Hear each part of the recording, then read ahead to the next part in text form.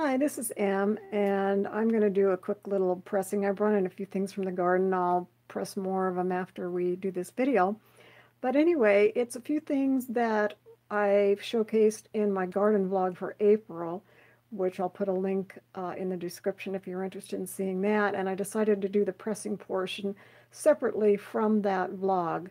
Uh, that vlog at the end does show some of them uh, as to what they look like once they're pressed, but this one I'm just going to show you a few pressing techniques, so if that sounds like something that you're interested in, then please stay tuned and let's get started. And as always, this is a live video, so if you want to scrub the time along the timeline and hurry it up, uh, that's great. I will be talking about my thought process, so if you're interested in hearing what's going on in my head as I'm doing this, then, uh, then go ahead and watch in real time.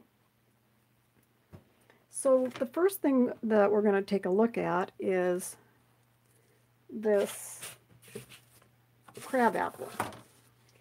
I'm fishing for my... And I really, I've pressed it before, and if you watch the vlog video, you'll see what it looks like pressed. And what I wanted to show you is that I clipped off a piece of the stem. It's a tree. These kind of grow down a little bit, facing sort of like this. They grow to where they're kind of hanging down. And then along the stem are these little sections.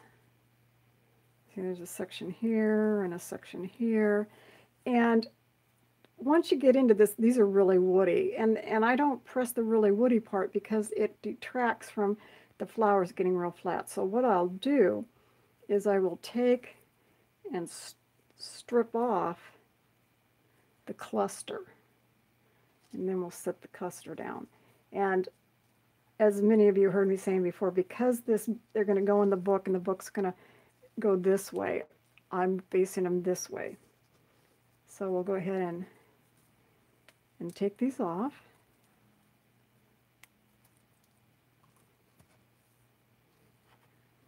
Okay, so that's that's how those are going to go. And I'm not going to, like, I'm going to try to make this video not too long, so I'll, I'll do the rest off of camera, but I just wanted you to see, see what I was doing and how I was doing it. Something else in the April Garden blog that I talked about was the Pieris having these reddish tinges on their leaves. And the one that I did the other day that I show you in the vlog video that's already pressed wasn't quite as dark as these. These are even redder than the other day. So I just set these down.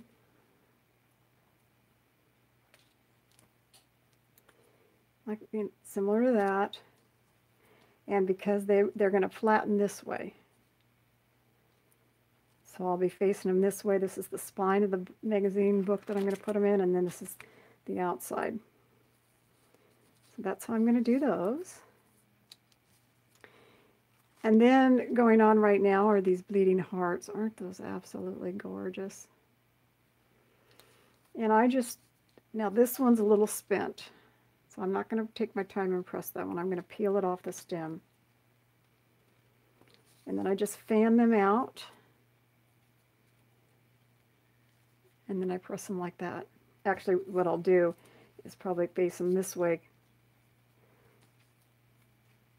so that when the book rolls over, it'll press them out. So I've got what I call um, the, I call these the domestic or garden variety bleeding hearts. And then the other one, where did I put it? Here's another bleeding heart. Probably press this one in uh, this configuration probably how I'll press that one. And then these are the leaves for the bleeding heart. This is the leaf, leaf for the fern leaf bleeding heart. Then I'll that kind of turn a very faint bluish hue after they're dry. They're really pretty. And then the domestic bleeding heart, I thought I brought one in, but here's a real small piece off of the domestic bleeding heart. their leaves are a little bit different. You can see how their leaves are a little bit, they're not as um, thin. They're, this is a small one, but it you can kind of get a little bit of an idea that there's different. Then this is pulsatilla, which I'll face this way and press them like that. And then the pulsatilla leaf, which I thought I brought in. Oh, here, here's, here's a leaf. They're very wispy. They're beautiful. See how beautiful that is? Okay. Not going to show you me putting in book all that. I've got a lot of pressing videos where I show that. I'm just showing, as I mentioned, I think already, I'm just showing you the highlights. This is, excuse me for bumping the camera, Basket of Gold Artemisia, which presses really well, holds the color really well. And I'll either press the small florets for detail work or the whole cluster. And I'll either press it like that or sometimes I'll face it this way when I want to try to get more of the flowers to show, you know, to kind of fan them open a little bit. So play around with those. That's the basket gold. It's a perennial form of a, uh, the alyssum family.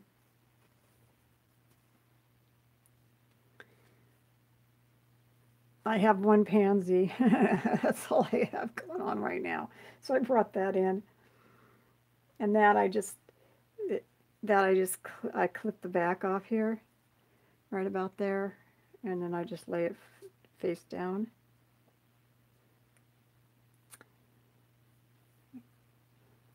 And then here's some azaleas, light pink.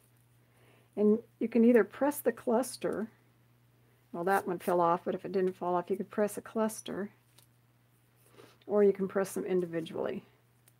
And with azalea, some of them press good. You'll see in, if you look at the April blog video at the end, I'll sh I showed you some azaleas, and you see where the, the pink ones kind of fade out, but they're still pretty. Whereas I had a, some blue azale, uh, azaleas that really hold their color well. So you just want to give it a try and see. Here's a more of a purplish red. And they, they press pretty. There's some more of that pink. Here's some purplish when they're in bud form.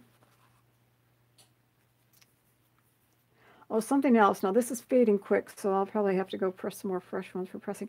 This is that silver Artemisia. See where the back is more, more silver than the front? And I will face them this way in the book so that when it, the book rolls over it, it forces them open up to open up like that. So here's some more Artemisia. And then here's some red azaleas, which they press and hold their color okay.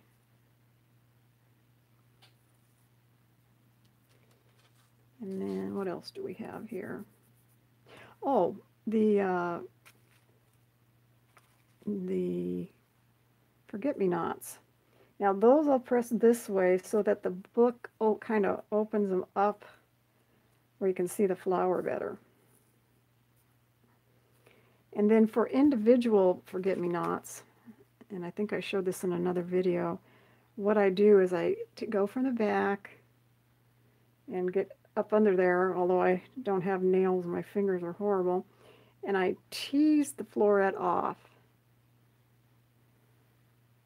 And that's how I get the that's how I get the individual florets. And I usually lay them face down. So I, I just gently tease. Sometimes they'll break. That one broke. Let's try a different one. I kind of squeeze the green part back here while I'm teasing it. And it works better with the ones that are lower down on the on the stem. Because as you get up on the stem, they uh, they're harder to come off. And then you can take what's rest the rest off after you do that and you can press the piece. I also brought in, this is lemon balm.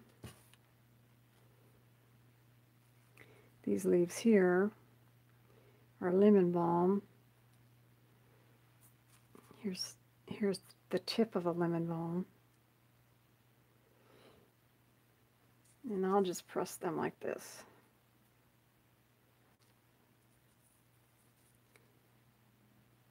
Another leaf that's really interesting, holds their color for years and years, and I don't know what this is called. I saw one, saw this at, plant at one of our nurseries last year, and I and I was going to write down what it was because I forget, and I I just don't know. I will cut the stem off because they're pretty sheer, so I don't want the stem to infringe upon the petal. And then I'll just press it. These are really easy to press, and they're beautiful, and it holds this nice uh, variegated color. Here's some different sizes of the leaves. And then here's a little cluster of some small ones where I'll just do the whole cluster. And when you look at them in the, the garden, they kind of hang down like that. So when you walk by, you're looking at them hanging down. So I will tend to do something like that. And what else have we, oh, I brought in some of these fiddle ferns. They're starting to open, but I thought I'd give these a try. They're they're they're fiddling out now, so if you're interested in something like that, now's the time. Uh, depending upon where you live, if you live in a harsh winter area, they might not be go, uh, doing this yet. They might still be dormant but they're fleeting. They'll they'll be they'll be like this, and then they'll be open, and they'll be too late. Anything else? Oh, I brought in some rose leaves. Uh, I might have said in another video that I I do roses, try to do roses earlier because otherwise they get blemished in my area very very quickly. And then the, this, I think I actually showed this in another video, but I love these leaves. It's a, it's from the cranesbill family. It's a miniature cranesbill, and I actually have some that have a couple flowers now, so I could show you how small the flowers are. They are slightly invasive in the sense that they will reseed, but look at how small the flowers are. But you can see, see how it kind of reminds you of a like a mini, a super mini cranesbill. And it's got the same kind of pod on there. That This flower is already spent. I don't know how well you can see that. I just wanted to see how small the flowers are. These leaves are really, really nice. And then the last thing I brought in was some oregano leaf. And the reason I brought them in now is because they're not blemished and they press really good, hold their color for a long time. I will press the florets when they come out, but that'll be later in the summer. And so these, these are really good for greenery. And this is an herb. I use it in uh, use it in my herbal teas. Sometimes I'll put the leaves in. Okay, I think I highlighted most of the things that I'm going to be pressing today. So if you have anything going on in your area, take a look, see what you have, and uh, have a great day. Thank you for tuning in.